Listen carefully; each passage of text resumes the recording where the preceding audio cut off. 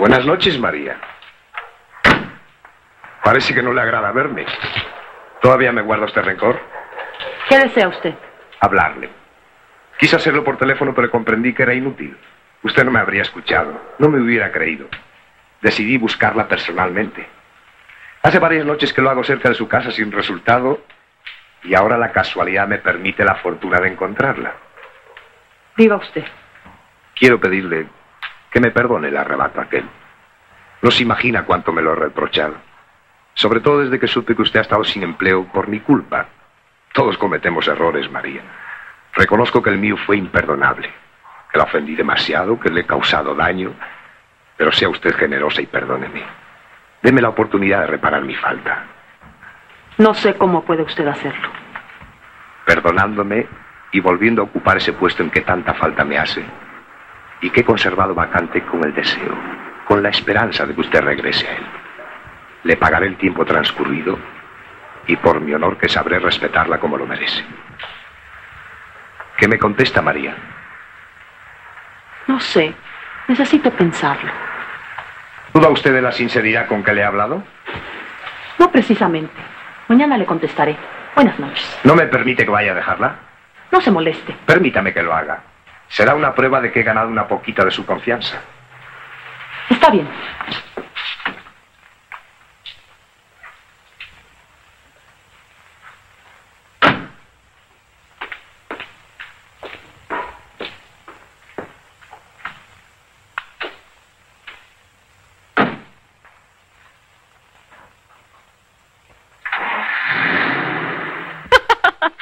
¿Casarte tú conmigo? No me digas. Ni aun poniéndote de rodillas, te creería. Te juro que digo la verdad. Me has jurado tantas veces. Recuerda que lo que mucho se oye impresiona poco. ¿Cómo quieres que te lo diga? De ningún modo. No te creería. Raquel. Mira, si te he pedido que cortemos estas relaciones es porque, aunque tardecito, me he dado cuenta de que no tienen objeto, de que son tontas, absurdas y hasta peligrosas. Para mí, por supuesto. Porque no hay razón para continuar un juego como este. Te juro que... No jures, por favor, y déjame acabar.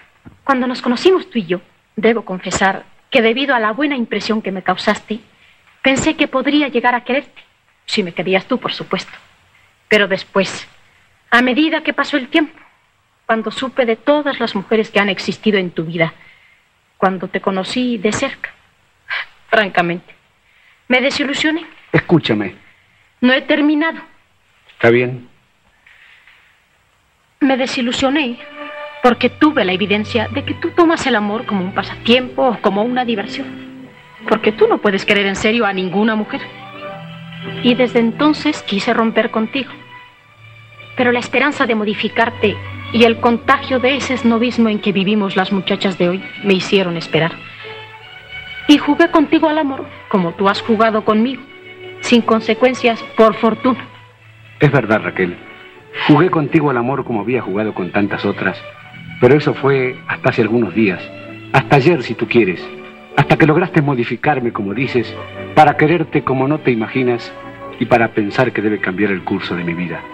Por mi honor que no miento, Raquel. Y en prueba de ello vuelvo a repetirte, ¿quieres casarte conmigo? ¿Dudas todavía?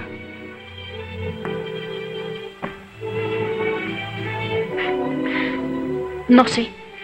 Estoy tan sorprendida. No puedo comprender cómo puedes pensar en el matrimonio. Tú, tan enamorado de tu libertad, teniendo como tienes todo lo que un hombre joven y de buena posición puede ambicionar. Un hombre a quien el porvenir le ofrece toda una vida por delante.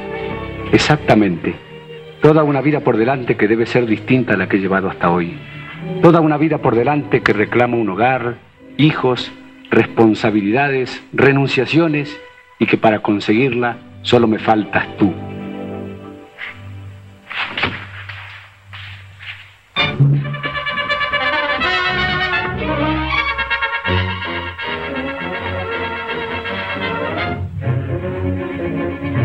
¿Es por aquí? Oh, perdón. Daremos vuelta ya. ¿No va usted a regresar? No, María. Si no para, grito. Grite, nadie la va a escuchar.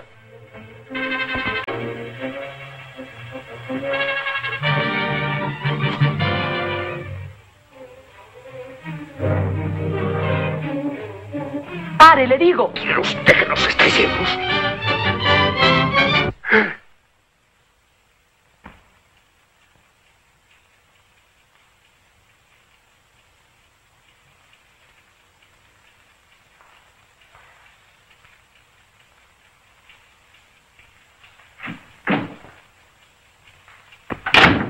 Mami linda, mami chula. Soy la mujer más feliz del mundo. ¿Y por eso llegas a estas horas? ¿Dónde estabas?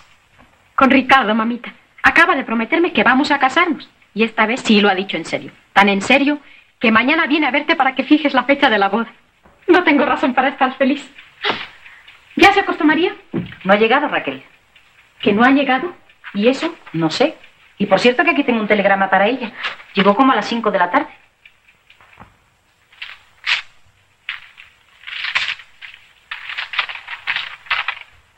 Desde Carlos. Horas después de que recibas el presente, estaremos en esa tu mamá y yo. Felices para siempre. Mil besos. Carlos. ¡Qué alegría! ¡Qué alegría! Y ella que había perdido la fe en Carlos. ¡Qué felicidad! Nos casaremos las dos al mismo tiempo. Tu mamá. Tu mamá. ¿Qué quiere decir este señor? ¿Eso te iba a preguntar? María, la sorpresa que se va a llevar. Carlos, Buenas noches, Raquel. buenas noches. ¿La mamá de María? La mamá de María.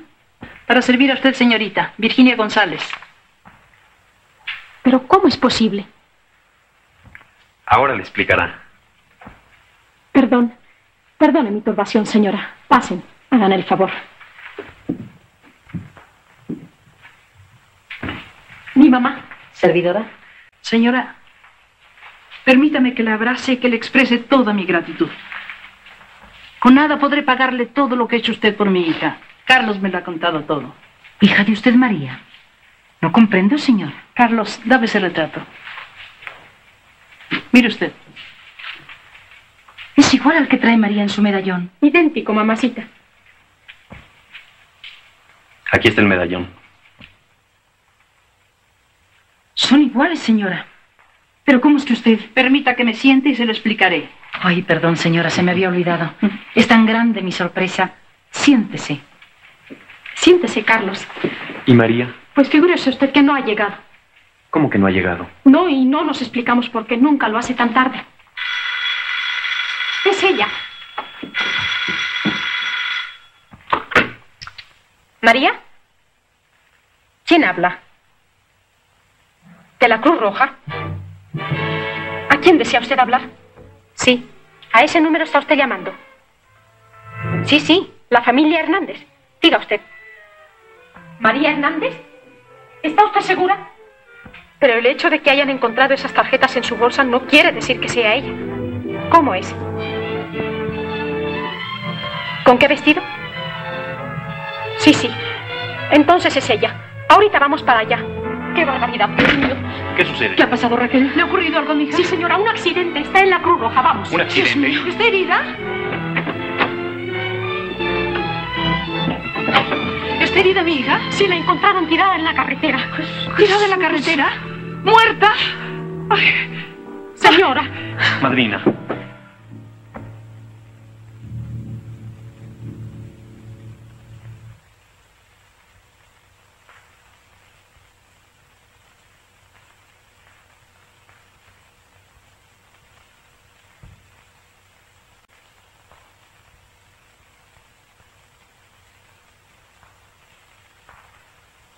Vaya, el pulso empieza a normalizarse. Qué bueno, doctor. Pobre muchacho.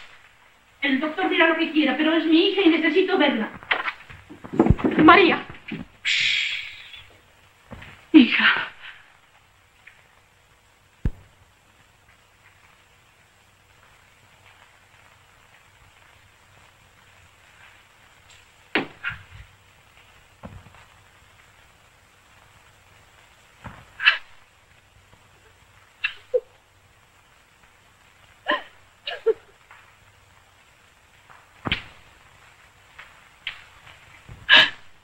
Eugenia.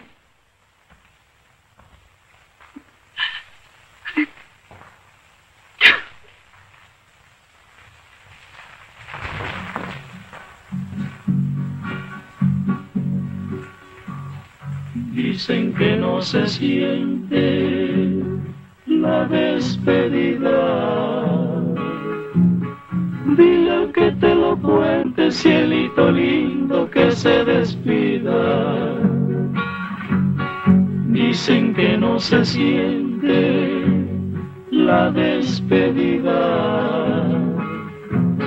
Dile al que te lo cuente, cielito lindo, que se despida. Ay, ay, ay, ay, ay. Del ser que adora. Y verás si se siente, cielito lindo, y hasta se llora. Ay, ay, ay, ay, ay. Julia. adora. Y verás si se siente cielito lindo y hasta se llora.